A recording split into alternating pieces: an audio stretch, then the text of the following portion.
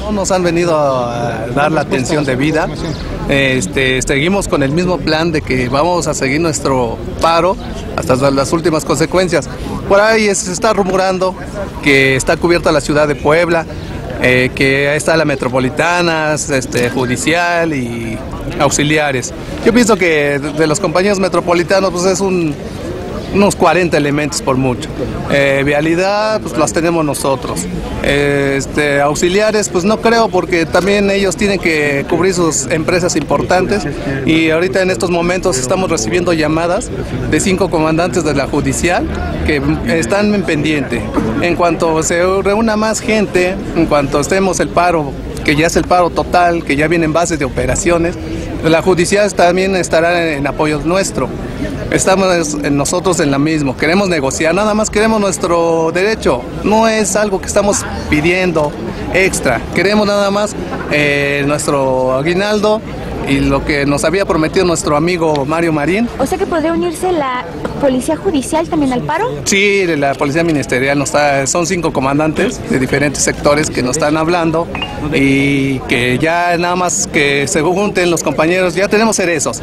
La otra cuestión es de que sus mandos están, no los dejan salir.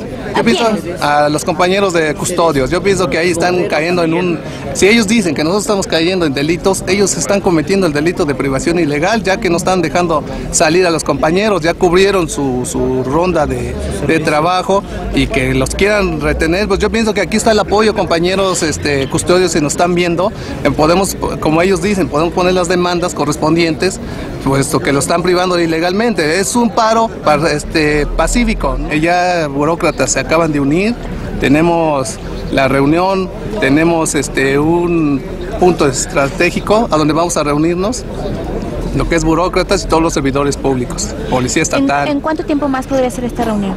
Eh, estaremos calculando a las 13 horas, de 13 a 14 horas, pero es un, un, punto estratégico que nosotros tenemos para que estemos todos reunidos.